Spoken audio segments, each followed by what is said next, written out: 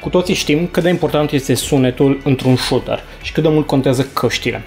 Așa că am o pereche de la Trust, special ca să văd dacă sunt bune, dacă nu sunt bune, cum se aud și dacă sunt ok pentru voi ca să le vi le cumpărați și să le folosiți.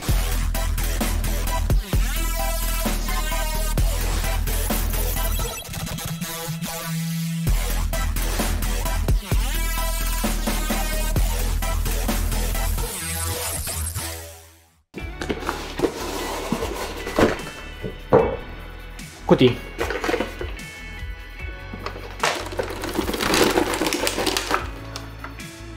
Plastic.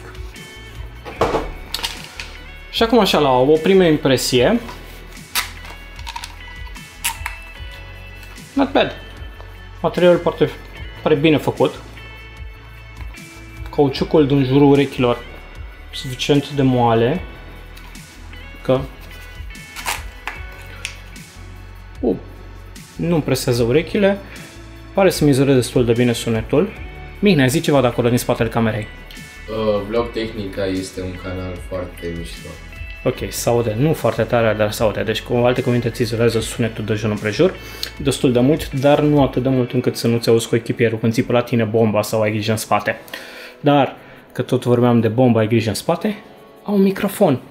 Și puteți să folosiți microfonul ca să vorbiți. Iar microfonul se poate modifica. Și că tot ziceam de microfon, buton și volum pentru căști și clips ca să prindeți. Iar căștile pot fi folosite direct așa sau old school, dacă placă de sunetul nu știe, cu cele două mufe. Și ar trebui să mai spun de banda aceasta. Este foarte moale, nu incomodează deloc. Construcția lor, din câte vedeți, este foarte bună. Că... Și sincer,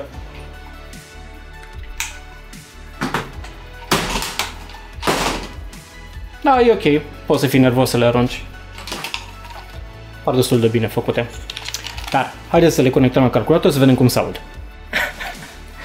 nu ai nervi? Tu nu faci asta când te enervezi? Căști. Microfon. Headphones. Perfect. Audacity. Voi captura și sunetul meu direct cu acest microfon ca să vedeți exact cum este, adică impresiile la cald. Am conectat căștile la calculator, din câte se vede. Uh, acesta va fi direct sunetul luat din microfonul de la căști. Uh, voi face comparație cu microfonul pe care a fost eu de obicei. Este microfonul Trust, cel la care avem și o review și găsiți link mai jos în descriere. Dar, spuneți-o părerea, cum se aude microfonul căștilor? Haideți să-l dăm și puțin mai departe. Pare ca distanța aceasta să audă mai încet. Îl dăm puțin mai aproape și pare să audă puțin mai bine. Uh, bomba X2, Tero, Tero, need help, cover me. Aș putea să vă zic ceva încet, suav, mai ușor. Put, pe microfonul poate să fie și mai apropiat de gură. Da. Și când mișc. Da, uh, face foarte urât atunci când, uh, deci, dacă îl mișcați în timp ce vorbiți, celor probabil că să audă scomotele. Dar, per total, waveline nu pare foarte interesant. Așa că vom trece înapoi la microfonul nostru clasic și vom trece la joc ca să vedem exact cum se audă. Atenție, warning! Acesta este un sunet de microfon care se audă mult mai tare. Mihnea mi-a tras atenția că trebuie să testez microfonul țipând la el, cum fac jucătorii în general. Așa că ar trebui să dați sunetul puțin mai încet, pentru că eu nu voi modifica sunetul special ca să-l uiți așa cum este. 3, 2, 1. Need help! Need help! Cover me! Bomba, bă, bomba! Haide! Haide, bă! Îmi cer scuze pentru urechile voastre. Să revenim acum la microfonul nostru de clasic. Dar stau bine pe urechi, adică îmi place cum stau. Ar trebui să spun că în testul de joc îl voi pune și pe Mihnea să testeze și el căștile și vă cere și părerea lui. Lui, blitz Сука, мест. Uh? А у меня exersez uh, rusul. Really? Mm, Joc CS. La ce te așteptai? adică trebuie să înțeleagă bine oamenii. Și rușii cum fac semnul ăsta? Ăștia sunt italieni. Știu, dar rușii cum fac semnul ăsta. Давай пепс. Bliat! Давай пепс, cumva. There you go. Uh, junior? Da, și There you go. Pe și bagă. Microfonul e pe stânga aici. Oh, comfy.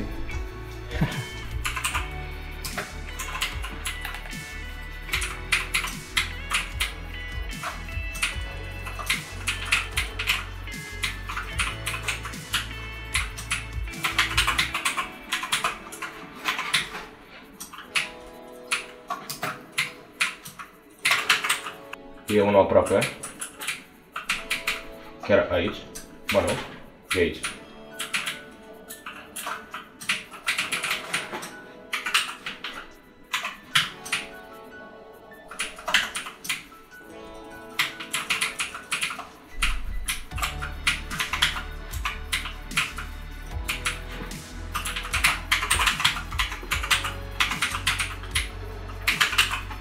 Da, îmi plac căștile astea.